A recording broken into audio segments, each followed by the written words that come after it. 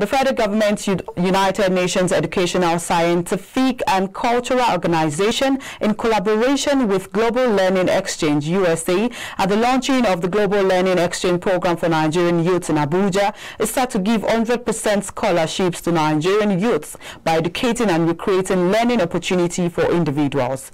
And now stakeholders say the bilateral relationship will be achieved through Global Learning Exchange in technology under the umbrella of the August Project TAP supported by the Senior Special Assistant to the President on Sustainable Development Goals. Kaftan Correspondent has more. Education across the globe, intelligence in motivation equally dispersed across the globe, but access to education is not today. Hence the need to fix through global learning exchange, particularly technology.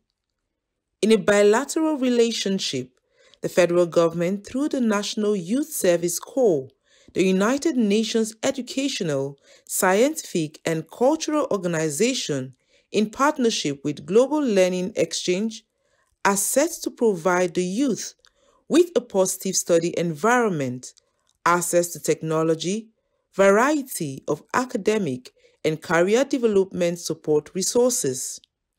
According to Latif Olagunju, Secretary General, UNESCO National Commission Nigeria speaks on the role of the youth in nation development. So it is imperative to emphasize that the initiative is focusing mainly on the importance of enhancing the United Nations Global Goal 17 as a partnership for development, especially as it concerns the youth in Nigeria now. This will go a long way to strategize, to strategically expose the Nigerian youth to the dynamics of our society and also encourage them to be active participants in governance as responsible citizens of our dear nation, Nigeria.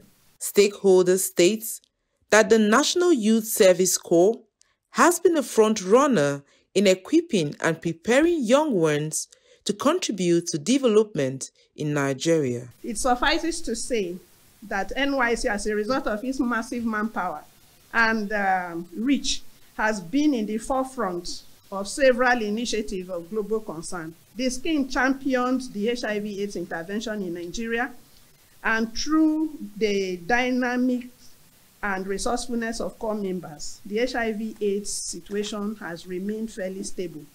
Other areas of intervention include the UNICEF U report enlistment. We are the highest in the world, over 4 million uh, people enlisted, and we are still pushing. Other stakeholders reiterate the importance of education, also say support and scholarship will be given to students who are eligible. The way in which global learning exchange got developed, if you will, is we saw we had this technology and we thought we need to go bigger and we need to bring this across the entire globe. To start things with, off, part of uh, our focal point on this partnership is the scholarships that we are offering to participants of the August project. So this is how we see this working. TAP students who apply for a matriculating degree program through the Global Learning Exchange will receive a scholarship that covers 100% of the cost of the first course in the program.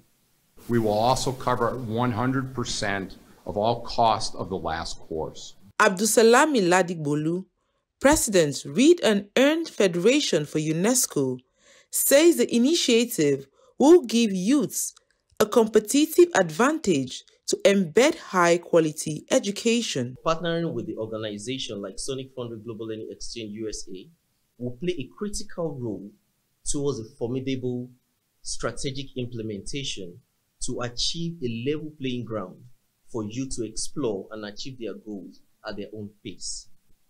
This country youth population boasts some of the most creative in the world, giving them the right tools and environment, Nigerian youth can co compete at the highest level in various industries and exceed expectation.